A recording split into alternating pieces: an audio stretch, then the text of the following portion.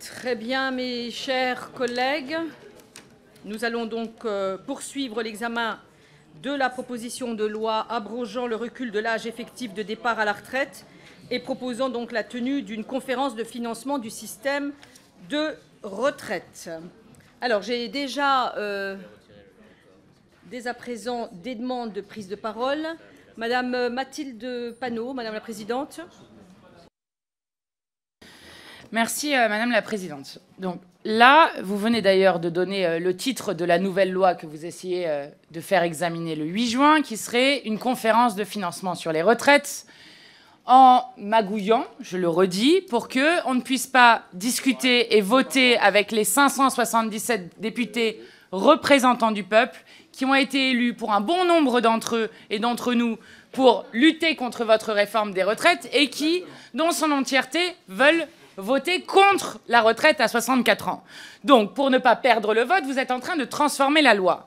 Mais pour transformer la loi, vous utilisez quelque chose qui est inacceptable, Madame la Présidente, et je veux le redire vraiment ici avec solennité.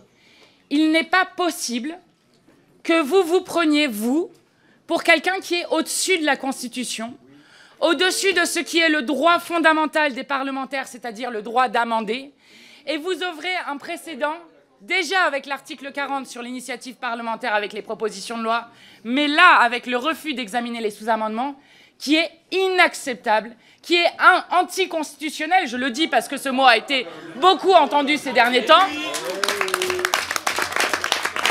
Très bien, Monsieur Pierre Daréville. Et qui est ah, vous n'avez pas fini, extrêmement dangereux comme précédent. Ce n'est pas possible. Je vous le dis, l'article 41 du règlement, que dit-il? Que la présidente ou le président de commission a effectivement pouvoir pour organiser les travaux. Ça ne vous donne pas pouvoir pour pouvoir décider de quel amendement nous pouvons discuter ou ne pas discuter. Et dans, et dans cet état des lieux, vu ce que vous êtes en train de faire, qui est extrêmement grave pour notre démocratie, extrêmement grave, vous êtes des dangers pour la démocratie aujourd'hui, nous ne pouvons pas continuer nous n'allons pas continuer. Nous n'allons pas continuer à discuter des amendements comme si rien ne s'était passé. Nous n'allons pas continuer à examiner un à un les choses sans en fermant les yeux sur l'acte d'autoritarisme incroyable que vous avez fait. Et je vais vous dire, Madame la Présidente, vous abaissez l'Assemblée nationale. Merci bien, Monsieur Pierre Daréville. Merci, Madame la Présidente. Euh, tout à l'heure, vous avez annoncé une décision qui a été euh, soumise au, bureau, décision que, nous contestons, que nous n'acceptons pas parce que nous pensons effectivement qu'elle crée un précédent euh, grave euh, pour le droit des parlementaires, le, droit du Parlement et pour la démocratie tout court. donc je veux le, souligner. Et puis je, veux également dire quel est l'enjeu, parce que ça peut apparaître comme ça de manière assez trouble euh, aux yeux de certains, euh, l'enjeu, il est clair, c'est est-ce que l'Assemblée nationale va pouvoir se prononcer sur la question de l'âge légal ou pas? C'est ça le sujet.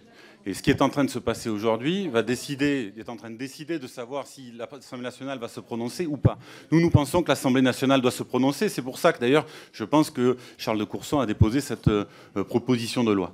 Donc euh, la, question qui se pose désormais, euh, c'est bien celle-là, et c'est de savoir si par-dessus le marché, c'est-à-dire après avoir fait tout ça, après avoir empêché l'examen des sous-amendements, je le, dis d'autant plus tranquillement que moi j'en ai pas déposé, euh, et je pense que ce droit doit être défendu pour autant, est-ce que par-dessus le marché, la présidente de l'Assemblée nationale va en plus nous empêcher de déposer et de défendre un amendement de rétablissement du texte initial que vous avez vidé de sa substance à l'instant. C'est ça le, sujet qui se pose. Donc le film, il n'est pas tout à, fait, euh, tout à fait fini, mais pour ce qui nous concerne, compte tenu de la décision que vous avez prise de nous empêcher de véritablement discuter et de porter à nouveau atteinte au droit du Parlement, ben on va vous laisser tranquille. On va vous laisser entre vous, puisque c'est comme ça que vous êtes bien. Donc voilà, on ne veut pas déranger. Monsieur Arthur Delaporte.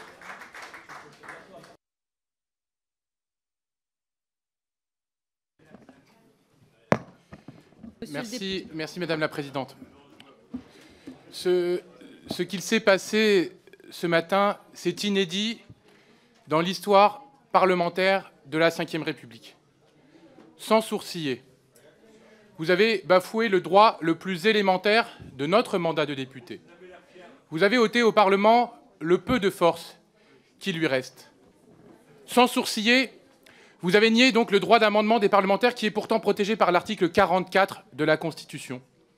Les sous-amendements qui ont fait l'objet du débat sont, je cite, indissociables du droit d'amendement qui est sanctifié par le Conseil constitutionnel et qui a été reconnu ainsi depuis 1986. Alors si certains collègues préfèrent que j'évite la sanctification, je dirais simplement qui est protégé comme la norme suprême que vous vous êtes empressé de bafouer ce matin.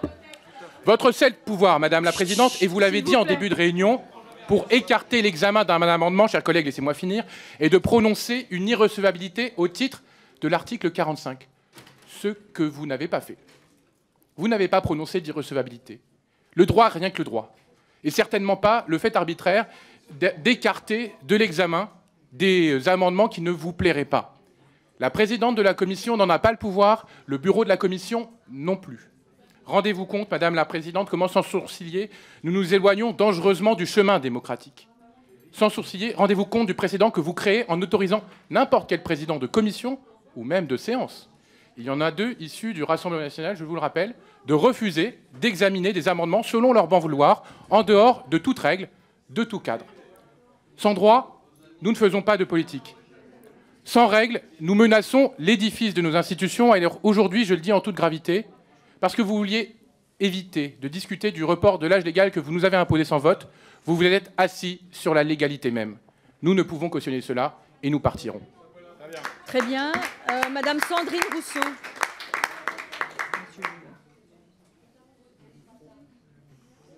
Madame la Présidente, je vais associer ma voix à celle de mes collègues pour euh, rappeler un tout petit peu l'historique de ce qu'il s'est passé.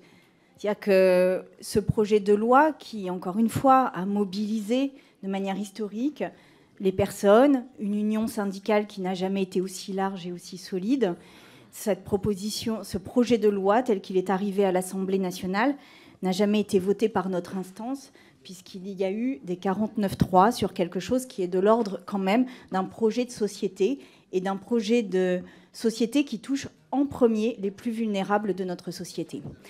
Pour cette raison-là, et parce qu'il n'y a pas eu de vote, le groupe Lyotte, qui n'est pas d'ultra-gauche, qui n'est pas de super-gauche, qui n'est pas euh, d'extrêmement de gauche, comme, euh, comme vous le dites sur tous les plateaux, ce groupe Lyotte, qui est centriste, a pour volonté de garantir le fonctionnement démocratique. Et c'est la raison pour laquelle, parce qu'il a estimé qu'en première lecture, ce projet de loi avait été bafoué et n'avait pas été étudié comme il aurait dû l'être, pour cette raison-là, ils ont déposé une nouvelle proposition de loi dans leur niche parlementaire.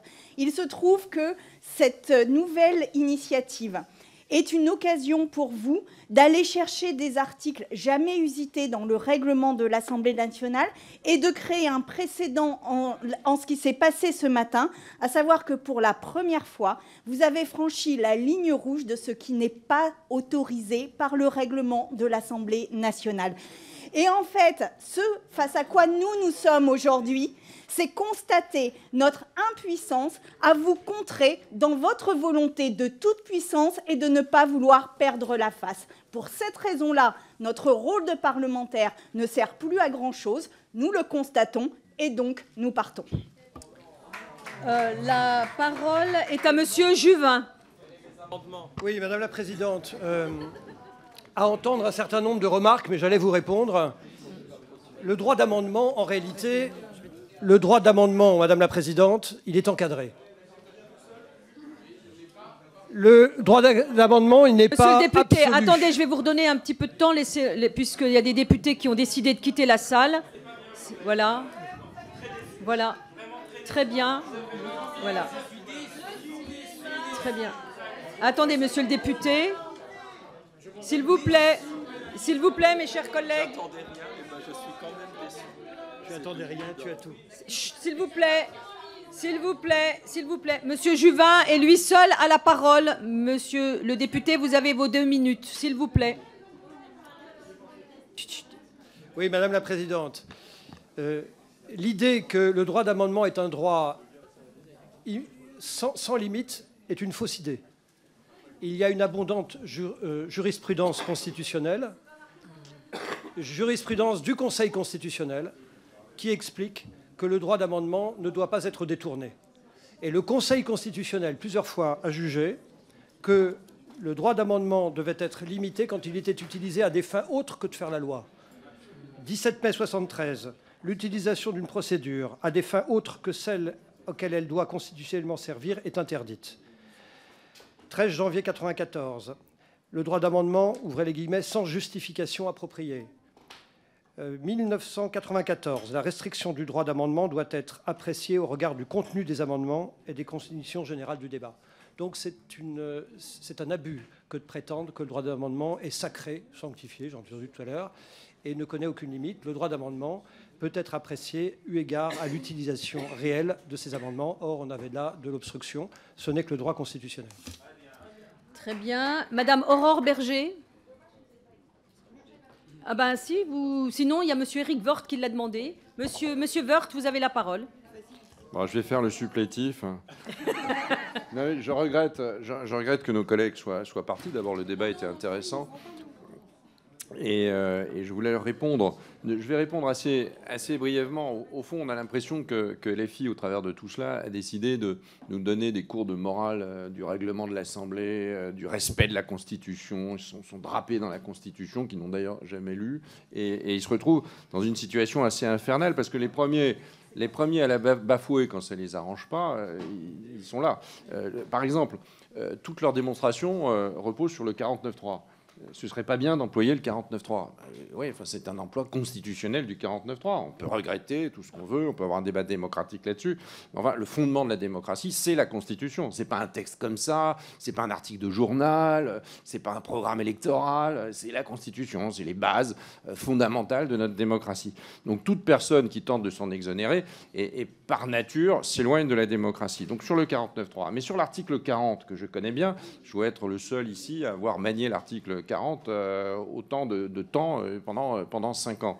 Je, vois bien que le président de la commission des finances LFI, et j'ai grand respect pour lui, mais enfin, il est LFI, il est président de la commission des finances, il est normalement le gardien du temple dans l'état d'esprit des textes de l'article 40. D'ailleurs, c'est pour ça que son rôle a été conçu autour de cela. Mais il a décidé de s'exonérer totalement de l'article 40 pour une raison partielle et pour une raison totalement politique, alors qu'il n'y a pas de politique là-dedans. C'est une charge ou c'est pas une charge?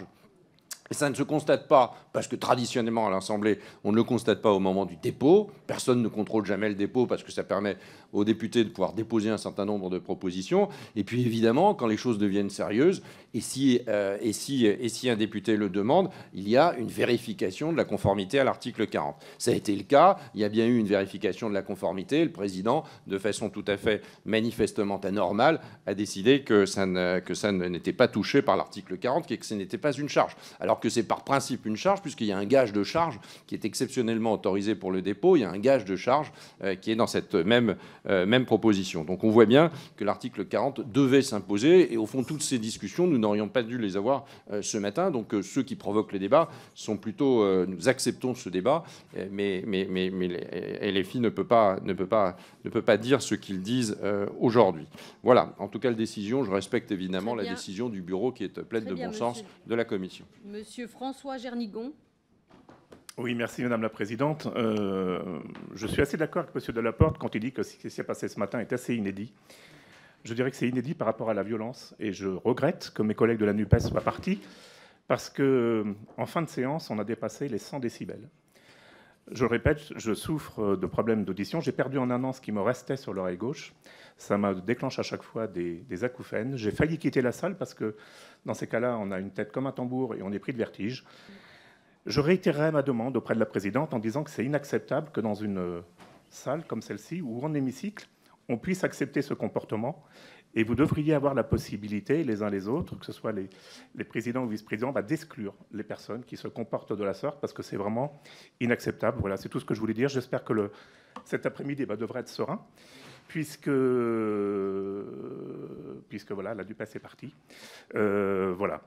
Rappelez que il y a eu un vote donc sur euh, l'article l'article 1, faut pas le faut pas l'oublier. Ça c'est en marge de ce que je voulais dire, mais voilà ce comportement, euh, voilà simplement c'est inacceptable. J'espère que vous trouverez une solution, que dans le règlement intérieur on pourra inclure quelque chose. Peut-être que ça existe déjà, mais ce comportement est vraiment inacceptable. Très bien, merci Monsieur le, député. Donc j'espère que les débats vont pouvoir euh, se poursuivre de manière sereine et je passe tout de suite la parole à Monsieur Christophe Benz. Merci euh, Madame la Présidente. Euh, je suis effectivement ravi que les choses redeviennent un petit peu plus calmes euh, avec le départ, mais que je regrette finalement de la, NUPES parce qu'ils font partie de la représentation nationale. Et j'aurais aimé euh, dans un premier temps euh, répondre à Monsieur Delaporte, mais il n'est plus là. Je réponds quand même puisqu'il s'inquiétait euh, qu'il y ait deux vice-présidents euh, RN à l'Assemblée. Euh, en l'occurrence, Hélène Laporte et Sébastien Chenu lui rappelaient qu'ils ont été, comme eux, élus par les Français d'abord dans leur circonscription et ensuite élus par leur père au sein de l'hémicycle. Euh, il craignait l'arrivée au pouvoir du Rassemblement national, il l'a évoqué, euh, Madame la Présidente, euh, lors du bureau tout à l'heure. Je pense que nous serons, lorsque nous arriverons au pouvoir, si les Français nous font effectivement confiance dans cette institution qu'est l'Assemblée nationale, d'être les premiers à respecter précisément la Constitution, à respecter le droit des parlementaires, leur liberté, leur capacité d'initiative, et donc de déposer euh, des amendements Quoi qu'il en coûte, petite euh, euh, parenthèse au passage, dans les institutions et dans la Constitution, il, a, y a la possibilité de faire des référendums. Nous avions, je le rappelle, puisque nous sommes maintenant que la NUPES est partie, les seuls opposants réels et complets à Emmanuel Macron, nous avons proposé une motion référendaire pour donner aux Français la possibilité de se prononcer par référendum. Je rappelle que la NUPES euh, ne l'a pas voté, euh, et donc euh, qu'ils soient informés de cela, le Rassemblement national est attaché à sa Constitution et très attaché au respect des institutions. Je vous remercie. Très bien. Alors, je tiens, avant de démarrer l'examen de l'article donc euh, 2, c'était simplement pour vous dire que ce n'est pas la première fois qu'une assemblée euh, parlementaire donc rejette, refuse l'examen de sous-amendements dès lors que ces sous-amendements sont déposés de manière abusive à des fins d'obstruction. Nous sommes oui pour le débat, oui pour la démocratie, oui pour que les parlementaires puissent voter, non à l'obstruction.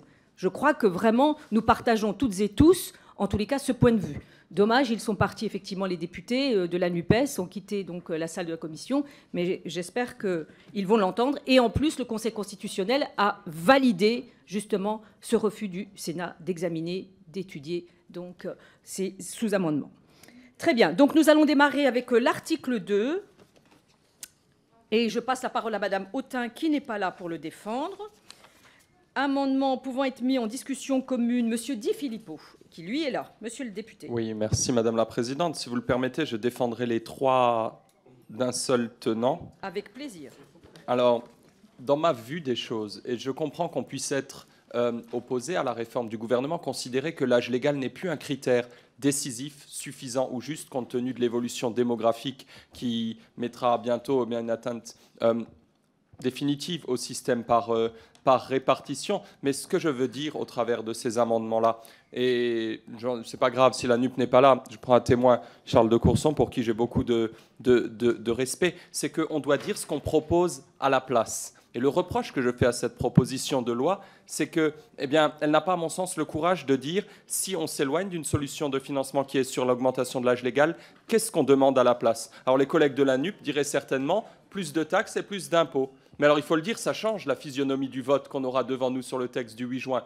Si on dit de la capitalisation, eh bien, ça change aussi la physionomie de ce, de ce vote-là. Donc, le sens de ces amendements, pour les deux premiers, c'était de rapprocher la conférence de financement parce qu'on ne peut pas attendre non plus euh, indéfiniment, il faut qu'elle ait lieu le plus tôt possible. Et la troisième, c'était de rajouter au motif au thème de cette conférence, eh l'analyse des conséquences du déclin accéléré de notre natalité, parce que la vérité, c'est que le problème est là. Quand on se retrouvera à 1,2 retraités pour un actif, l'âge légal, même à 64 ans, ne suffira plus, même à 70 ans, peut-être ne suffira plus, euh, il conduira à des pensions qui seront moins bonnes.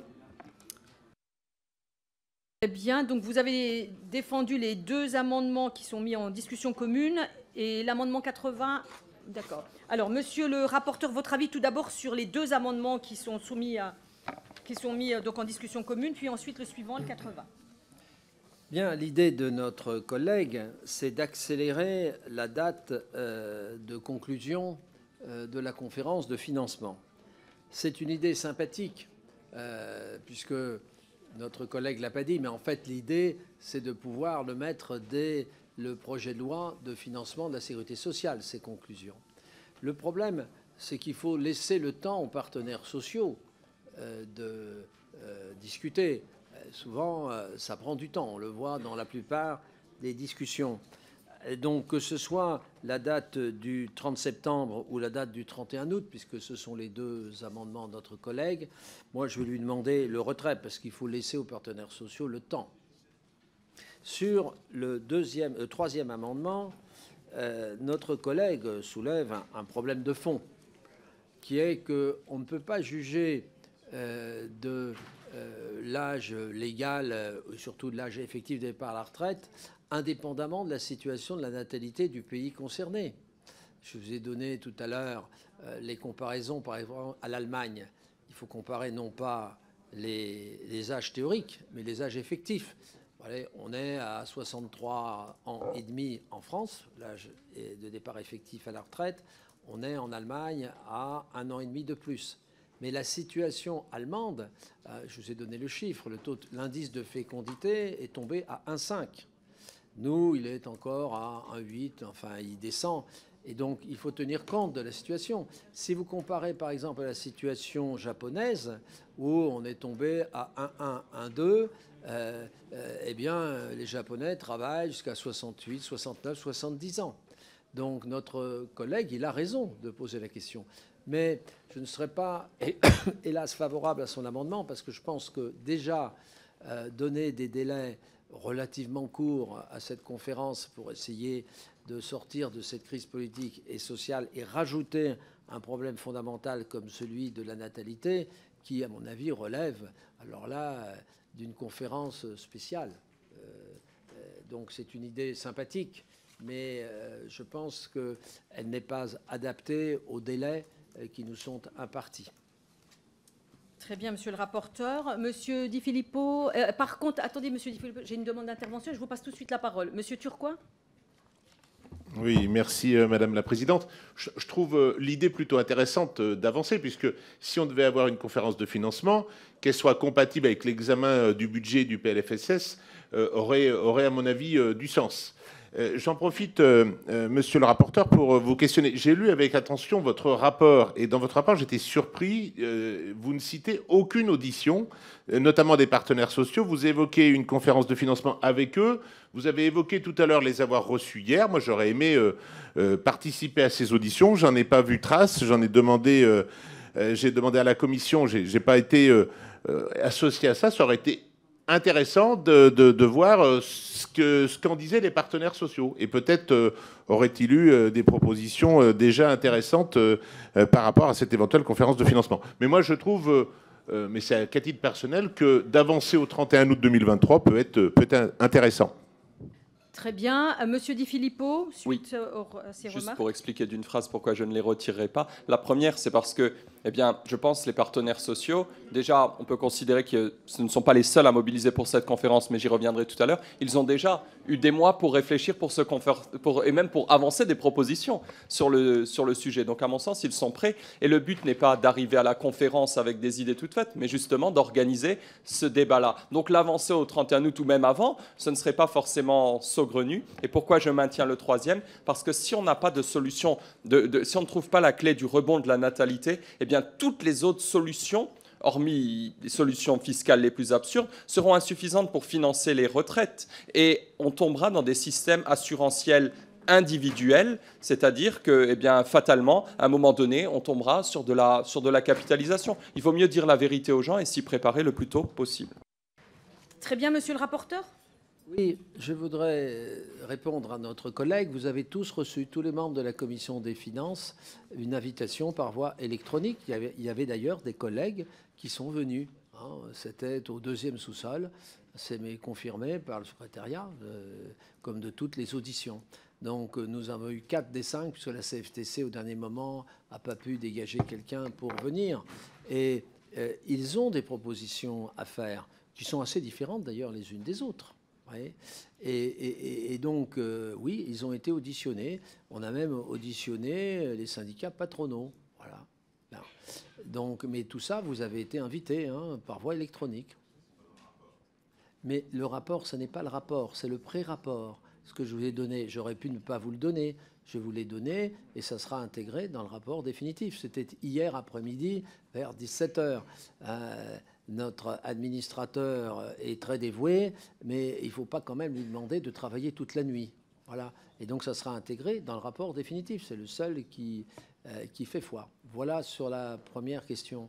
Sur les observations, euh, souvent d'ailleurs justifiées, hein, de notre collègue euh, Philippot, sur, sur le fond, je crois qu'il ne faut pas trop charger la barque, sinon jamais ils ne tiendront les délais compatibles avec la loi de financement. Parce que je rappelle, ça peut être intégré, c'était l'idée du premier amendement de notre collègue Di Filippo, avant euh, en fait le 15 septembre, parce qu'après c'est trop tard, mais on peut aussi l'intégrer sous forme d'amendement euh, à la loi de financement de la crise sociale. On peut même faire loi de financement rectificative dès le mois de janvier, puisqu'il y a un précédent que vous connaissez, je crois, un petit peu les uns les autres.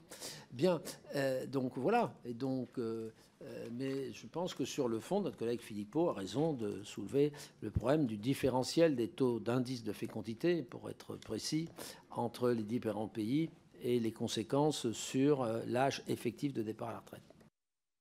Très bien. Donc, euh, je vais mettre aux voix déjà les deux amendements. Ah, pardon. Ah, pardon, excusez-moi, madame. Euh, je vous ai oublié. Excusez-moi. Allez-y. Merci Madame la Présidente. Euh, écoutez, j'avoue, euh, Monsieur le rapporteur, que je regrette quand même que, la NUPES, dont vous êtes la, nouvelle égérie, ne vous entende pas parler de natalité. Parce que moi, à chaque fois que j'ai essayé de parler de natalité dans ce, euh, dans ce débat plus ou moins animé, je n'ai eu de leur part que des colibés et de la méprise. je l'ai souvent dit, les femmes françaises, c'est le taux de fécondité de 1,7, alors qu'a priori, le désir d'enfant serait plutôt de 2,5. Donc il suffirait simplement d'envoyer des signaux qui permettent aux femmes françaises finalement de simplement avoir les enfants dont, euh, elles ont envie. Il n'était évidemment euh, question de, forcer personne. Seule Sandrine Rousseau euh, a vu cette idée germer là dans, dans, sa tête. Et vous avez raison, ne, pas supporter la natalité, c'est quand même en, matière de retraite euh, c'est inimaginable, on le sait, François Bayrou l'a dit, on ne peut pas dans notre système en France euh, de retraite comme ça euh, faire fi de cette, de cette natalité qui doit être florissante évidemment pour que ce modèle fonctionne. Et ne pas supporter la natalité, c'est être antisocial. Et c'est vrai qu'on a tous nos contradictions, monsieur de Courson, mais pour le coup, vos alliés de circonstance sont très loin de penser comme vous. Je vous remercie. Très bien. Monsieur le rapporteur, vous voulez répondre à Madame Lavalette? Oui, Madame, je crois avoir été ouvert sur l'idée de notre collègue Di Filippo. Et vous avez euh, euh, rappelé euh, ce que toutes les enquêtes montrent, c'est que les femmes françaises ont en moyenne un enfant de moins que le nombre d'enfants qu'elles souhaitaient avoir. C'est une donnée. Donc le problème, c'est pourquoi, quand on les interroge, pourquoi vous avez un enfant de moins que vous désiriez? Eh bien, il y a des raisons variées. Il y a des problèmes de compatibilité avec la vie professionnelle. Il y a des problèmes parfois euh, de, moyens financiers. Il y a des problèmes. Enfin, il y a, il y a beaucoup de facteurs qui expliquent cela. Et une vraie politique de long terme sur les retraites, ça serait effectivement d'aborder ce sujet dans une ambiance ouverte et de voir quels sont les moyens qu'on peut pour encourager les femmes qui souhaitent avoir un enfant de plus à les avoir. Sur prestations, euh, crèches, en fait, etc. Ça, je partage tout à fait. Mais là, si vous voulez, l'idée, voilà, donc, donc euh, moi, je ne donne pas un avis favorable au troisième amendement de notre collègue de Philippot pour des raisons de calendrier. C'est tout. Mais on peut faire une conférence qui serait dédiée spécifiquement à la natalité. Je pense que ça serait très intéressant avec les différents courants sociaux, les courants politiques, etc., et de faire prendre conscience que c'est pas, euh, ça conditionne à moyen long terme nos problèmes de retraite. Très bien. Alors, je mets aux voix donc cet amendement numéro 10 de, de M. Di Filippo, qui est pour.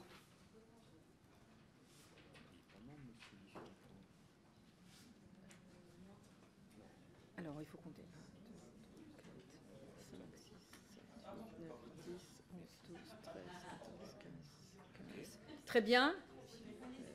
Très bien. Qui est contre?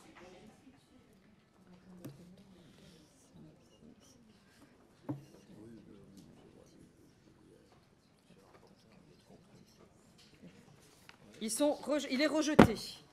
Amendement suivant, le 11, même avis, même vote? Très bien. Euh, amendement 80, même avis, même vote? Très bien. Alors, amendement suivant, pas défendu. Amendement suivant, pas défendu. Amendement suivant, pas défendu. Amendement suivant, pas défendu. Et je repasse la parole à Monsieur Di Filippo. Madame la Présidente, je ferai les cinq d'un coup, si vous voulez. Les 14, 13, 15, 12, 18, puisque à chaque fois, et ça concerne le même sujet, c'est-à-dire la liste des personnes qualifiées pour participer à cette conférence. Vous avez dit les partenaires sociaux, mais on trouve aussi d'autres euh, cas de figure comme des citoyens. Alors, j'ai cru bon de penser qu'il y aurait d'autres personnalités qualifiées, comme le Haut Conseil des finances publiques, des associations d'élus, des membres de la direction des caisses de retraite, des membres des services de prévention de santé au travail. Et, et puis, il y a un amendement, le dernier rédactionnel, le 18, parce que représentant est au singulier, donc il convient de le mettre au pluriel. Voilà tout. Très bien, monsieur le député. Alors, monsieur le rapporteur, votre avis Alors, il a défendu les cinq amendements en même temps. hein, donc, euh, voilà. Alors, votre avis, monsieur Je le vais y rapporteur répondre. Eh ben, moi, je suis favorable à l'amendement AS13. euh, et c'est l'intégration des associations d'élus dans la conférence de financement, ne serait-ce que parce qu'il y a le problème de la CNRACL. Bon, voilà. Euh, je suis favorable à l'autre amendement de notre collègue qui est un rédactionnel, c'est la S18, et euh, défavorable aux trois autres, euh, puisque, euh, si je prends dans l'ordre, la S14 qui a pour objet d'intégrer dans le HCFP, d'intégrer le HCFP dans la conférence de financement, bon, ça ne me paraît pas être la fonction du Haut Conseil des finances publiques, c'est plutôt de conseiller.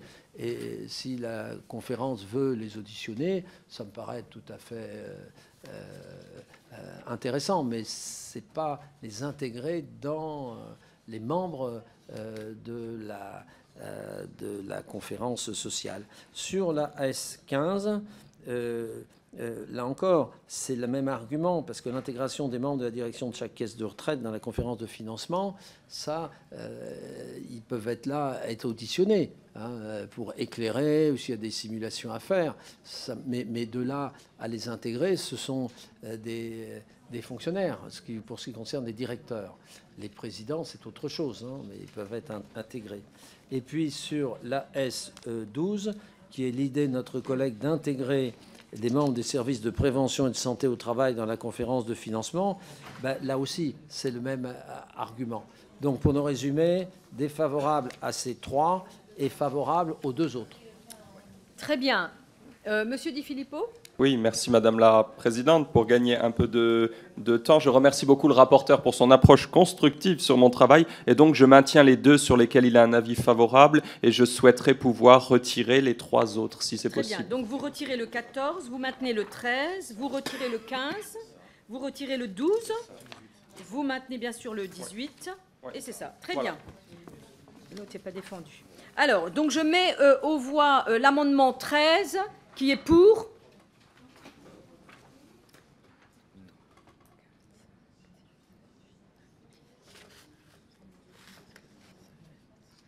Qui est contre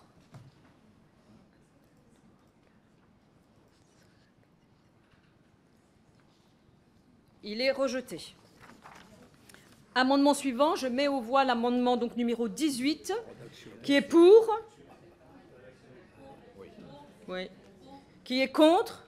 Il est adopté. Alors, amendement suivant, Monsieur Cordier, non, pas défendu. Monsieur Di Filippo pour le 81. Oui, et je peux le faire avec le 16 et le 17-3 d'un coup, parce qu'en fait, le but de ces amendements, euh, c'était, ainsi que des citoyens pour la composition de cette conférence, on a beaucoup critiqué le système des conventions euh, citoyennes, parce que ça reste un concept assez flou. Est-ce qu'on va tirer au sort des gens qui seraient qualifiés pour avoir un avis sur les, euh, les, les retraites? Et puis après, alors donc, euh, le, premier amendement, le 81, c'est pour supprimer cette référence à la participation de, de- citoyens non identifiés. Et les deux autres, ça vise à- à préciser cette notion, tout simplement les 16 et les 17. Voilà. Très bien. Alors, monsieur le rapporteur, votre avis sur ces amendements? Eh bien, euh, je serais défavorable au 81 euh, euh, parce que je pense que notre collègue Philippot soulève un, vrai problème. L'idée, c'était plutôt d'avoir des associations de retraités. Et donc, je donnerai un avis favorable à son amendement AS16, qui dit des citoyens qui peuvent être des actifs ou des retraités. Et je me réserve la possibilité de, de- de- préciser euh, cela d'ici la, la- la séance. hein. Euh, quant à l'amendement AS 17, je demanderai aussi à notre collègue euh, de, bien vouloir le retirer, parce que s'agissant des modalités de désignation des citoyens dans le cadre de la conférence, c'est un sujet sur lequel nous sommes en train de travailler. Le même argument que pour la S81. Donc pour nous résumer, avis défavorable sur la S81 et la S17, et avec une réécriture que j'essaierai de faire d'ici la séance, et avis favorable à la S16. Le 16, vous dites que avis favorable. Oui, très bien. Alors, donc, je mets aux voix tout d'abord l'amendement. Ah, pardon, monsieur le euh, député. Oui, euh, alors je vais retirer le 17, euh, je remercie le rapporteur pour son avis favorable sur le 16 que je maintiens. Et le 80, je vais le maintenir parce que c'est une différence conceptuelle sur la participation de citoyens non identifiés euh, au, processus de la conférence. Vous avez retiré, monsieur le député, le 17, c'est ça, Très bien. Alors, donc, euh, merci bien. Je mets aux voix donc l'amendement 81 qui est pour. Qui est contre? Il est rejeté. Je mets aux voix l'amendement 16. Qui est pour? Même avis, même vote. Qui est contre? Il est rejeté. Monsieur Di Filippo pour le 73 ici. Je peux prendre les cinq suivants d'un coup, du 73 au 76. En fait, ça visait à, préciser les sujets qui devraient être spécifiquement abordés au cours de cette conférence, sur notamment le niveau des pensions et avoir une approche un peu prospective de ce qu'il va devenir dans des secteurs spécifiques. Donc le premier dans les, différentes, euh, dans les différents secteurs. Le deuxième pour les indépendants, qui ont quand même des systèmes de retraite qui restent relativement, en tout cas, euh, fragiles.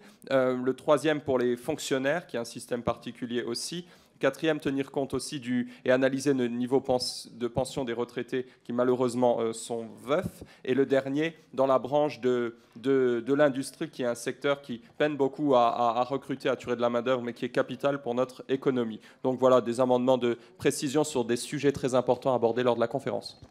Très bien. Monsieur le rapporteur, votre avis sur ces amendements de précision, comme le dit monsieur le député?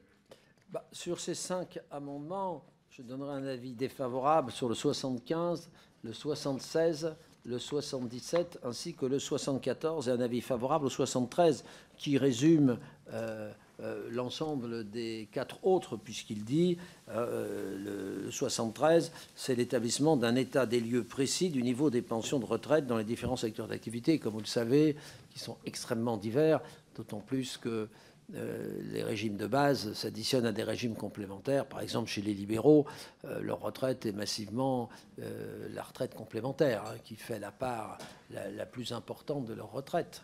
Même chose sur les cadres, d'ailleurs, du régime général, pour prendre deux, exemples. Donc, je pense que c'est une précision utile. Donc, avis favorable sur le AS 73, avis défavorable sur 74, 75, 76 et 77.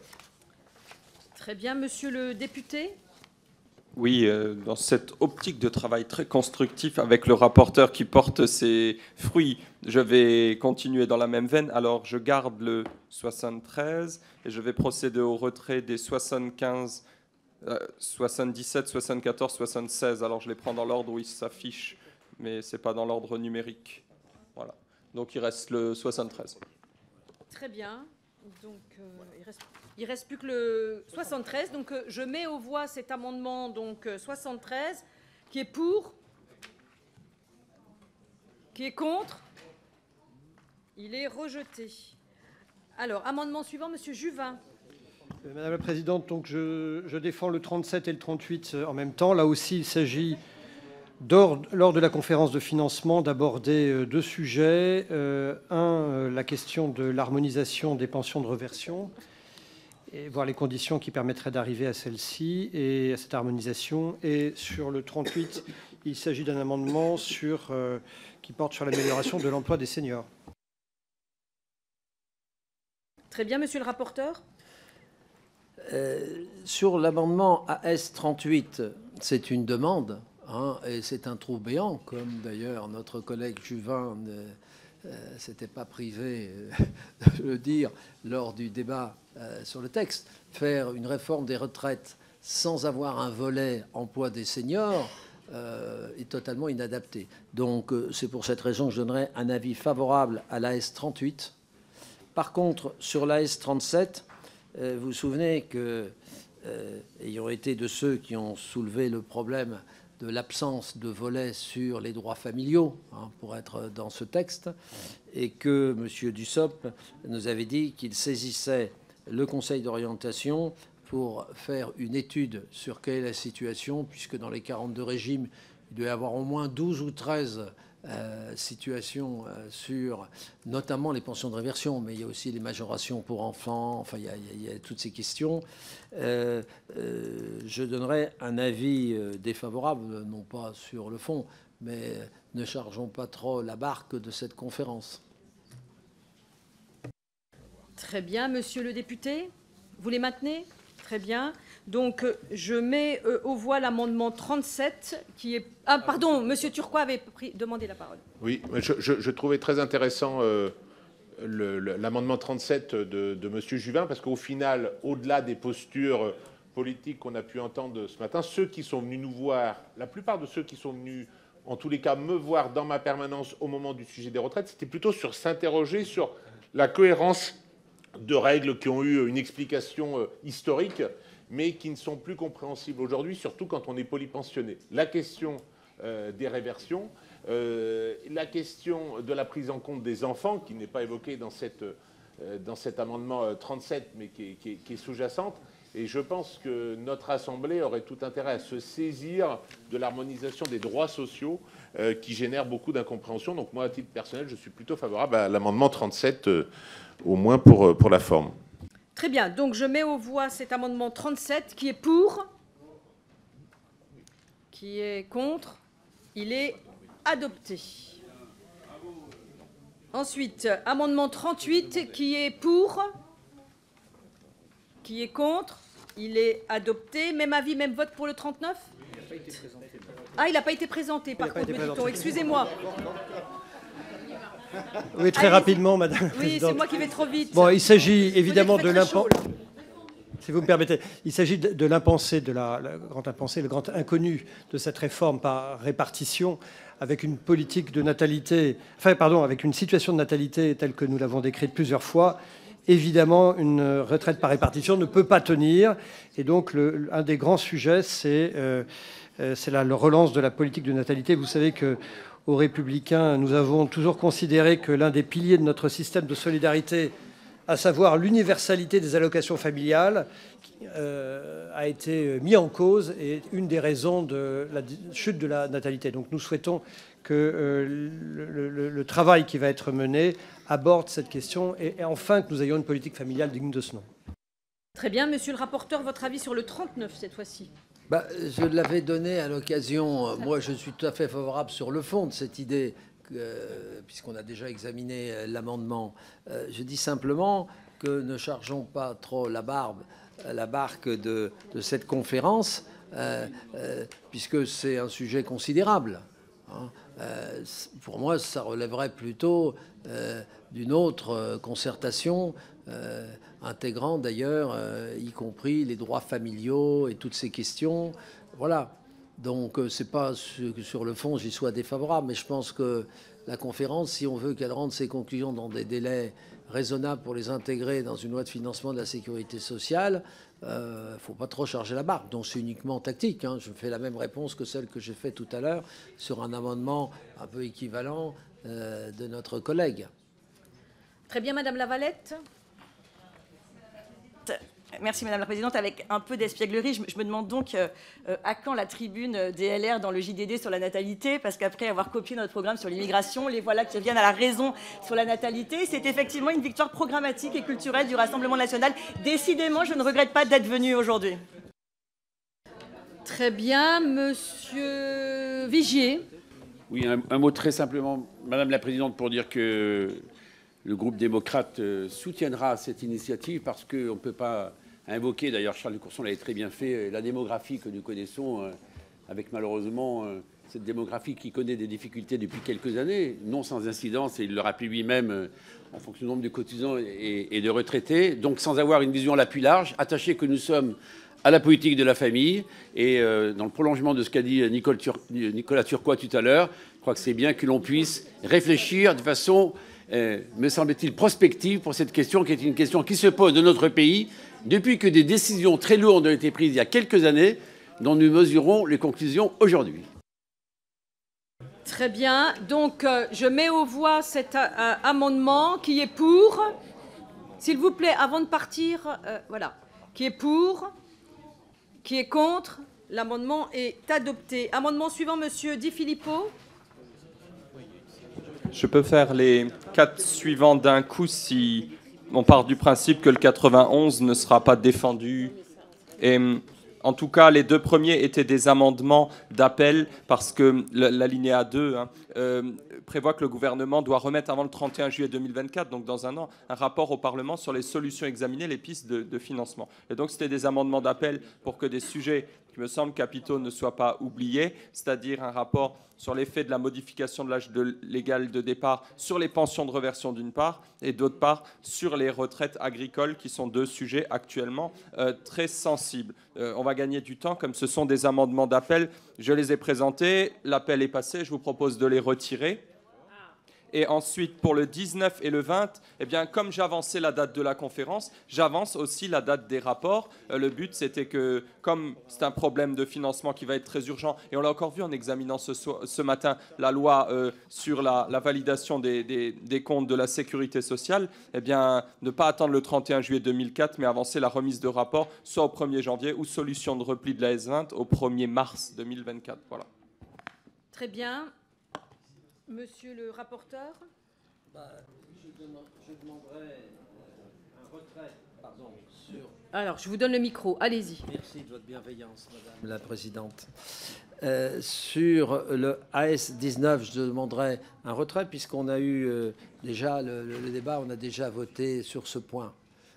Et concernant les, les, dates, là encore, euh, n'allons pas trop vite. Euh, il faut laisser le temps aux, partenaires sur, euh, de, se concerter et de, trouver au moins une majorité au sein des participants. Voilà, c'est pour cela que je vous demande un, retrait, M. Di Filippo, sur la S19. Et la, S20 également, hein, puisque euh, substituer à date du 31 juillet 2024 le 1er mars 2024. Euh, là encore, euh, si les partenaires sociaux réussissent à, avoir un accord au moins majoritaire avant cette date, tant mieux. Voilà. Donc je vous demande le retrait de ces deux amendements AS19 et AS20. Très bien, monsieur le rapporteur. Monsieur Di Filippo, monsieur le député Il est vrai qu'à partir du moment où on n'a pas avancé la date de la conférence et qu'elle est au 31 décembre, ça devient difficile d'avoir un rapport au 1er janvier même à avoir une nuit du réveillon très studieuse. Alors pour l'instant, tant que les autres euh, ne passent pas, je les retire. J'y reviendrai peut-être à la, à, la, à la séance, mais pour l'instant, je retire les deux. Très bien, monsieur le député. L'amendement suivant n'est pas défendu. Amendement suivant, monsieur Di Filippo, le 27, s'il vous plaît. Oui, un amendement, je ne vais pas dire rédactionnel, mais de, sémantique importante, c'est-à-dire que pour le, rapport remis au Parlement par le gouvernement sur les solutions et les pistes nouvelles de financement, il y est écrit que ce rapport peut donner lieu à un débat à l'Assemblée nationale et au Sénat. Et donc moi, je remplace ce peut donner par un donne qui est un peu plus impératif. Très bien, monsieur le rapporteur. Euh, pardon, euh, Madame Valentin, oui, puisqu'on est en discussion commune. Excusez-moi, monsieur le rapporteur. Ils sont identiques. Oui. Merci, Madame la Présidente. Donc, fallait-il une réforme des retraites? Oui. Fallait-il un débat démocratique au Parlement sur ce sujet? Bien évidemment. Malheureusement, aucun débat sur le sujet au sein de l'hémicycle, car tout l'arsenal des, des, outils législatifs a été appliqué, ce qui a créé évidemment un climat délétère dans notre pays, ce qui est effectivement très grave. Par contre, ce qui s'est passé ce matin à la Commission des affaires sociales, notamment avec la NUPES, est totalement inacceptable. Et j'espère, Madame la Présidente, que nous pourrons revoir les choses et peut-être noter dans notre règlement intérieur certains principes pour que cela ne se reproduise pas. La retraite est avant tout le fruit d'une vie de travail. La réforme des retraites c'est euh, avant tout une vraie concertation sur ce que devrait être le travail, ce que devrait être la flexibilité au travail, ce que devrait être le droit du travail qui doit être modifié, l'assurance chômage, mais aussi la politique familiale. Aborder les retraites à travers le seul prisme budgétaire ne correspond pas à ce qu'une réforme devrait être. La tenue d'une grande conférence de financement impliquant notamment les partenaires sociaux permettra d'étudier des solutions existantes et d'envisager de nouvelles pistes de financement afin que les solutions examinées et les nouvelles pistes de financement proposées par la conférence mentionnée soient restituées de manière la plus démocratique possible, le rapport doit donner lieu à un débat à l'Assemblée nationale et au Sénat. Tel est l'objet de ce présent amendement. Très bien, monsieur le rapporteur. Je donnerai un avis favorable. Euh, prenez le micro, monsieur. Attendez. C'est fait, madame. Euh, ah oui, non, mais parce que madame Lavalette n'a pas. Non, madame Valentin n'a pas éteint son, son micro. Voilà, allez-y. Ça y est, vous l'avez. Merci. Donc, je donnerai un avis favorable à ces deux amendements. On avait une hésitation sur peu donner ou donne, puisqu'on craint toujours que les ordres donnés au gouvernement ne soient déclarés irrecevables. Bon, mais après réexamen, il semblerait que ce soit compatible avec notre Constitution. Donc, je donne favorable à vos deux amendements identiques. Très bien. Donc, euh, je mets aux voix donc, ces deux amendements identiques. Qui est pour?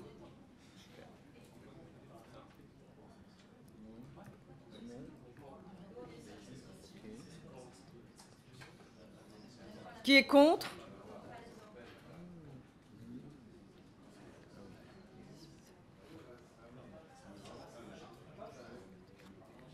Oui, oui, c'est rejeté. Ils sont rejetés. Je mets aux voix, mes chers collègues, l'article 2 ainsi modifié, qui est pour Qui est contre L'article 2 ainsi modifié est adopté. Article 3, monsieur de Courson, vous avez un amendement de suppression de cet article.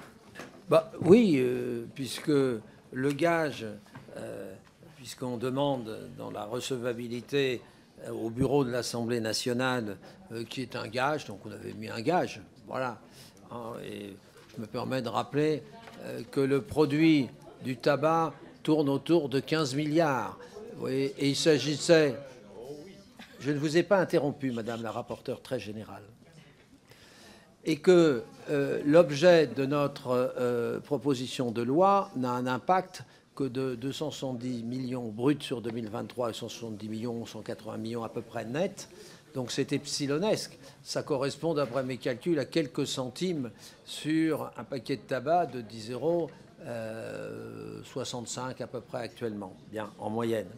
Donc euh, je vous propose de supprimer ce gage qui n'a plus d'objet. Il était destiné à, permettre la recevabilité au regard du bureau de l'Assemblée nationale euh, de l'article 1er. Il n'a plus d'objet. Euh, euh, puisque la commission a à la majorité voté contre l'article 1er. Très bien. Donc je mets aux voix donc, cet amendement de suppression qui est pour, qui est contre? Il est rejeté. Je mets aux voix l'article 3 qui est pour, qui est contre? L'article 3 est adopté. Alors, j'ai un amendement pour le haut titre. Monsieur Vincent Day. Oui, merci Madame la Présidente. Comme euh, c'est l'article 1 qui représentait un péril pour euh, notre système de retraite et que cet article 1 a été supprimé, je retire donc mon amendement, bien évidemment. Très bien. Ensuite, euh, Madame Gruet n'est pas là. Non. Et amendement suivant, Monsieur Di Filippo à nouveau. Oui, bien.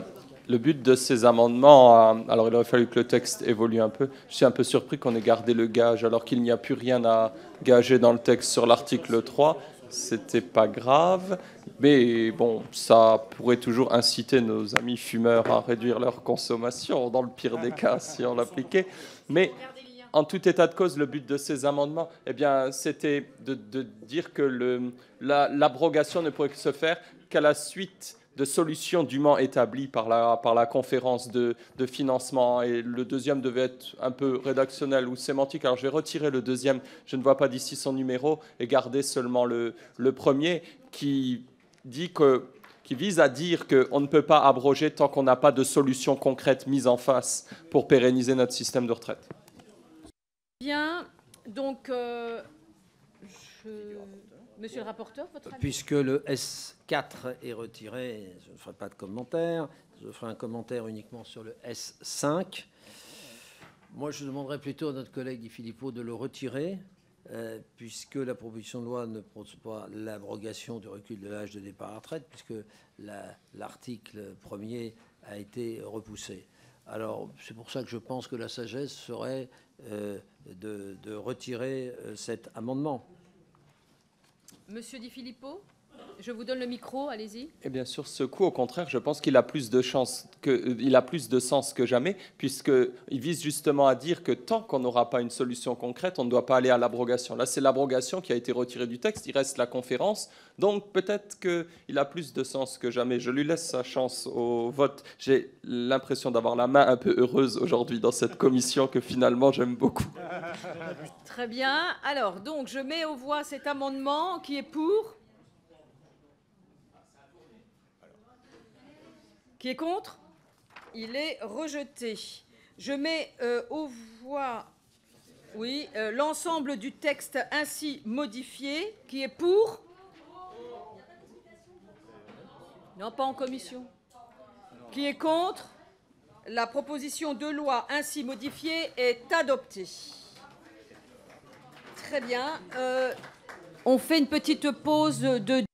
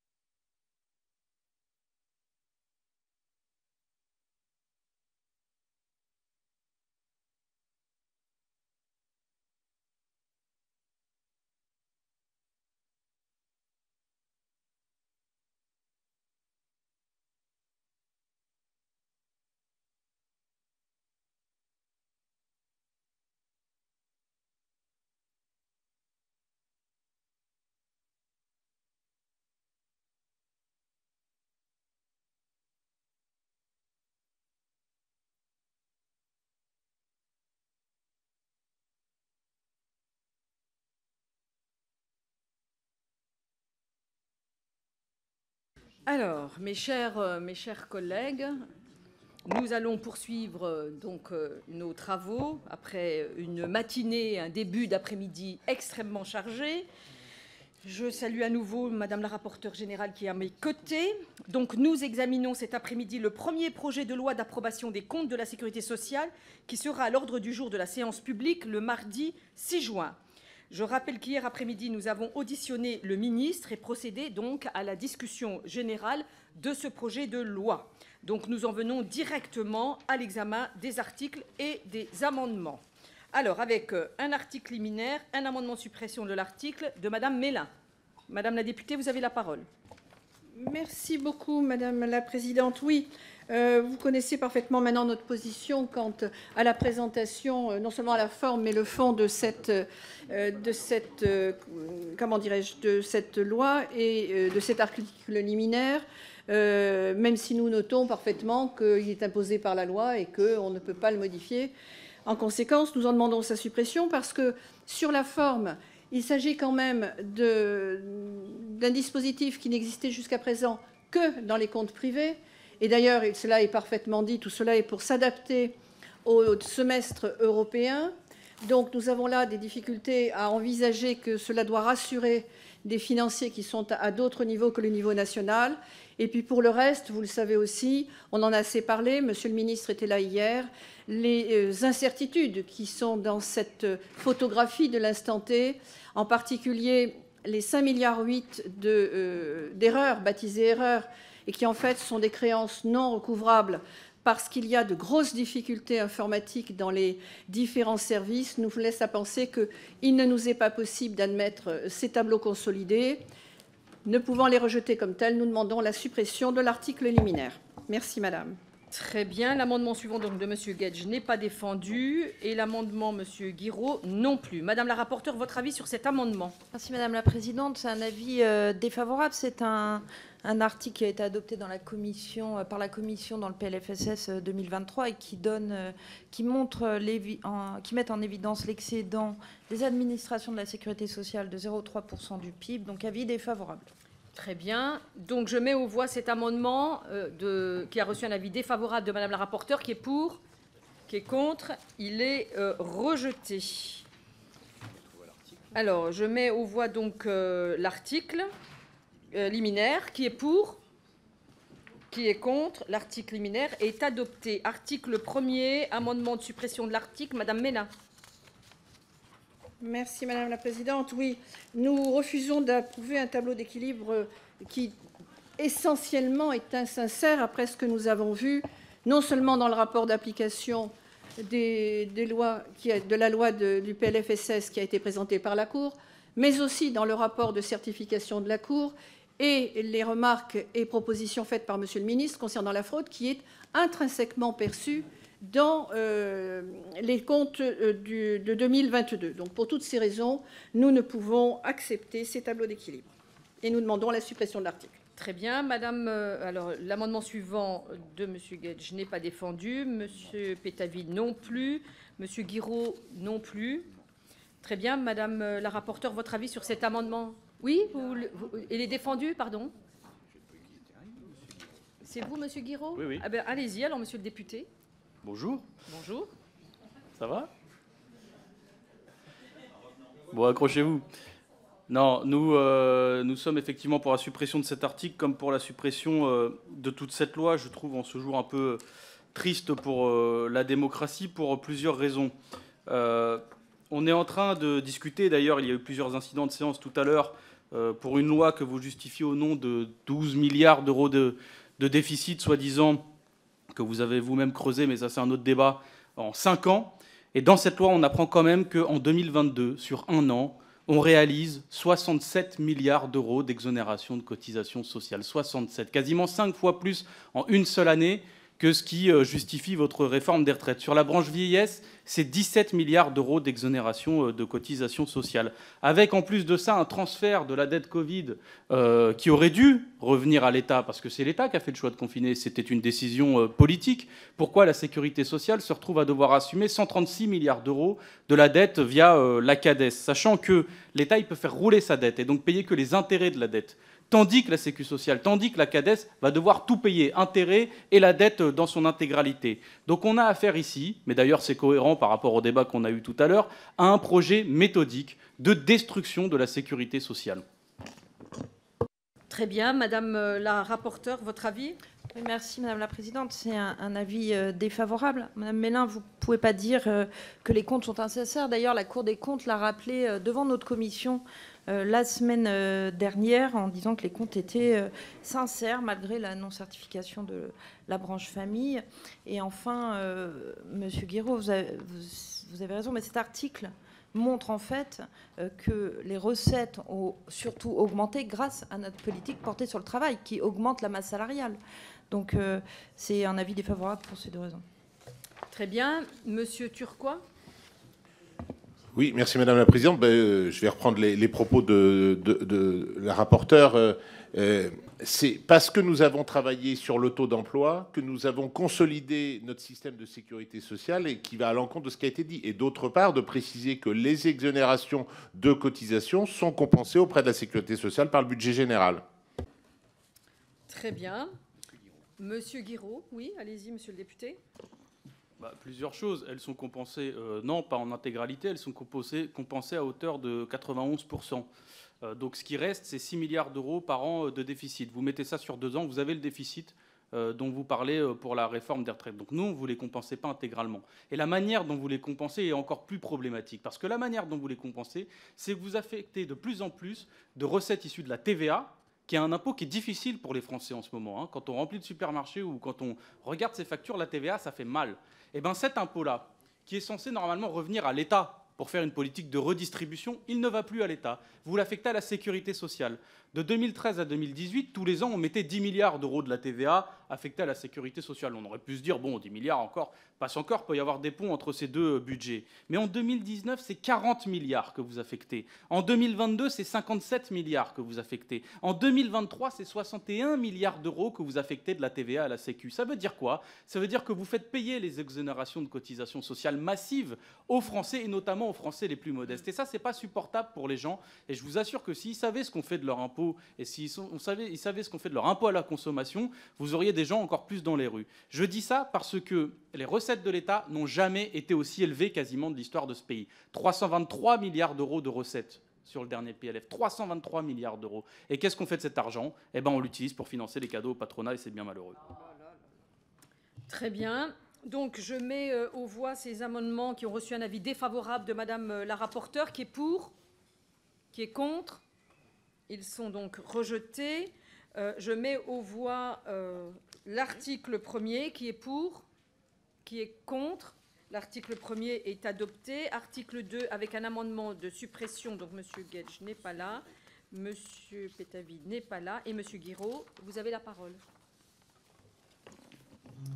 Bah écoutez, c'est toujours sur le, sur le même sujet. Moi, je, je, je m'inquiète de ce qu'on est en train de faire, euh, pour être honnête. Parce que le problème de tout ça, c'est que euh, vous, êtes en train d'assécher complètement toute capacité d'autofinancement du régime de la sécurité sociale. On le comprend parce qu'à l'origine, la sécurité sociale, c'était géré par les travailleurs. Vous y avez mis une grande, partie euh, du patronat, c'est votre combat historique, à vous les, euh, libéraux, les capitalistes, hein, ça c'est un débat politique, en faisant notamment le paritarisme, en mettant 50-50 alors qu'avant les salariés représentaient 80 ca- quasiment 80% euh, des sièges dans la gestion de la Sécu. Mais visiblement, c'est pas assez. Donc vous, vous empêchez l'autofinancement des comptes de la Sécu sociale avec des exonérations de cotisations massives. Vous arrivez en ce moment, c'est la séquence actuelle dans notre pays, en faisant les sauveurs, en disant mais on compense, ce qui n'est pas totalement vrai, je l'ai dit tout à l'heure. Mais vous êtes aussi en train de dire qu'en vérité, ça coûte déjà trop cher à l'État. Et en fait, vous êtes en train de justifier la réforme des retraites en disant que vos, vos compensations que vous avez décidées, parce que vous avez décidé de tarir le- les sources d'autofinancement de la Sécu sociale, coûtent trop cher. Ça va être quoi le résultat de tout ça? Ça va être que les 800 milliards d'euros de la protection sociale vont finir dans le privé. Parce que déjà chez les salariés, depuis l'annonce de votre réforme, vous avez des mutuelles, des complémentaires qui arrivent vers les Français qui leur disent Mais au fait, vous êtes sûr que vous allez être bien couvert pour votre retraite? Inscrivez-vous chez nous. Ça coûtera un peu plus cher, mais c'est mieux pour vous. Voilà ce qu'on appelle faire tomber les 800 milliards d'euros de la protection sociale dans les poches du privé. Très bien. Oui, monsieur. Peut-être l'avis déjà de madame la rapporteure et ensuite monsieur Bazin, je vous passerai la parole. Alors, on est sur l'article 2, vous voulez supprimer euh, cet article qui parle de l'objectif national des dépenses d'assurance maladie. C'est un article obligatoire euh, dans la LAX, donc c'est un avis défavorable. Très bien, Monsieur Bazin, vous souhaitiez intervenir? Oui, merci Madame la, Présidente, Madame la rapporteure générale, mes chers collègues. J'avoue ne, pas comprendre euh, l'exposé des, motifs de cet article, de cet amendement à, cet article 2, parce qu'on est sur une approbation des comptes de la sécurité sociale. Euh, moi, je n'y retrouve pas du tout, parce que très clairement, on est plutôt sur une question est-ce qu'on a des comptes qui sont euh, fidèles euh, Quelle est la somme des dépenses Quelle est la somme des recettes? On est sur les objectifs ensuite où on a bah, des tableaux. qui nous permettent de, prendre acte d'une certaine manière Après, on peut discuter, et, le rapport de la Cour des comptes a fait l'objet d'un certain nombre de, débats. Euh, pour autant, on ne peut pas dire que c'est des cadeaux au patronat. Enfin, euh, les branches de la sécurité sociale, euh, c'est d'abord pour tous les Français. Et donc, le patronat n'a pas grand-chose à voir dans la plupart de, ces branches-là. Au contraire, c'est plutôt au bénéfice des, des, Français. La, la, question qui peut se poser, mais c'est une question sur les choix qui sont faits. On voit bien qu'il y a eu des transferts entre les branches. Malgré cela, on a quand même des branches excédentaires. Euh, et qu'on a des recettes en hausse euh, sur la, euh, qui, qui, étaient imaginées, mais comme on a eu des modifications en cours d'exercice pour prendre en compte un certain nombre d'éléments, est-ce qu'on est sur des objectifs qui sont à date en fin d'année ou des objectifs au début d'année? Puisqu'on a quand même, enfin vous le savez bien, Madame la rapporteure générale, un peu modifié la donne en, cours d'examen. De, et, et, donc, est-ce qu'on considère dans ces tableaux les objectifs tels qu'ils ont été faits à la fin du PLFSS ou est-ce que c'était ceux à la fin de l'année en cours d'exercice? Je ne sais pas si vous voyez ma question. Madame la rapporteure Là, on est sur la, validation de 2022, de compte terminé. Donc, je ne comprends pas donc, votre question.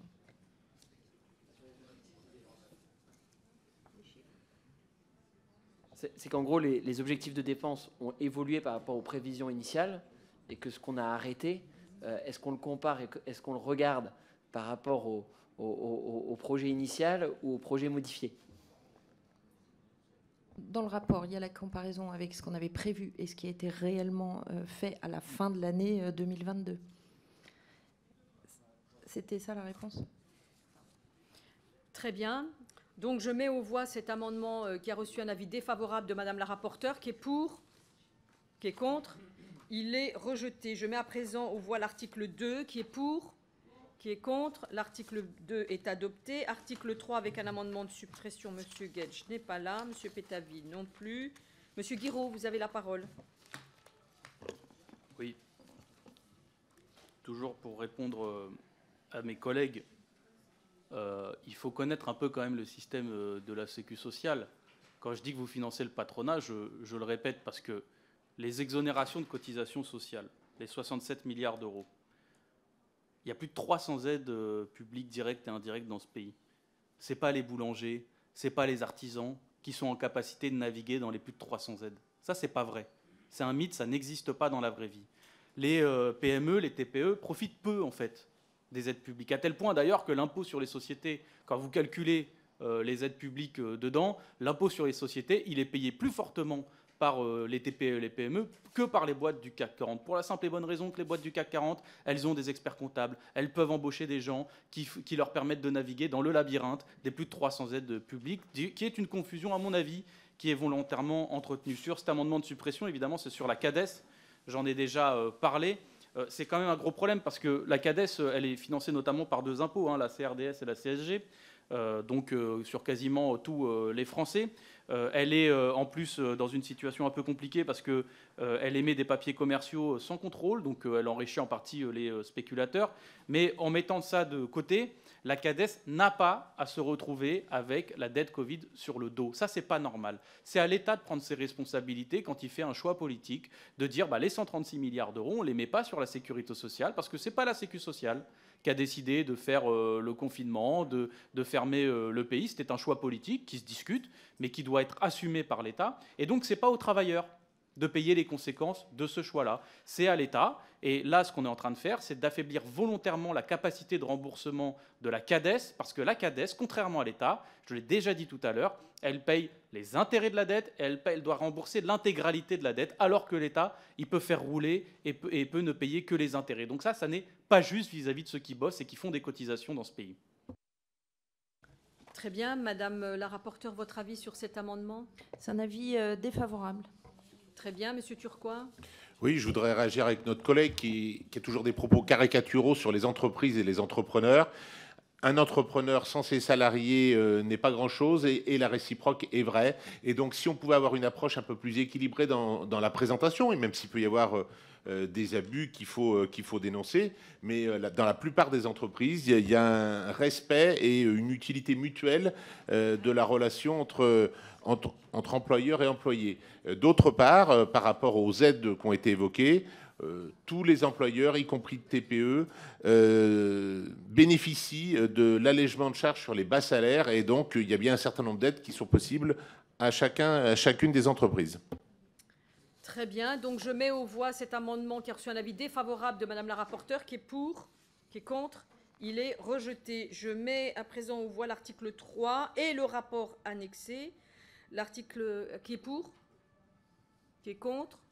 Ils sont tous les deux adoptés. Article 3 et rapport et qui est contre. Oui, oui, oui, est adopté. Je mets aux voix l'ensemble du texte sans modification, qui est pour, qui est contre.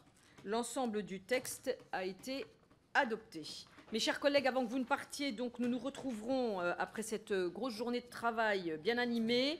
Lundi prochain, lundi à 16h, nous commencerons l'examen du texte de la proposition de loi visant à améliorer l'accès aux soins par l'engagement territorial des professionnels et dont le rapporteur est M. Frédéric Valtou. Je vous remercie et je vous souhaite une excellente soirée.